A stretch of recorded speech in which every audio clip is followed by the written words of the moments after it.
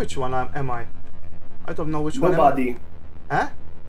Every car is controlled by the CPU. Ah, okay.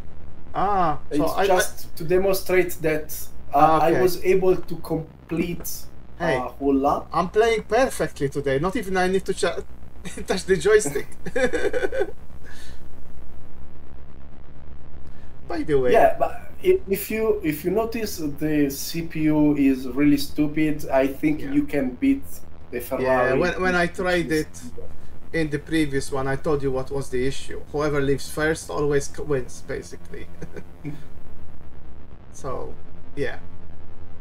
Of course, you can if you go through the option, you can play and control one of these cars Yeah.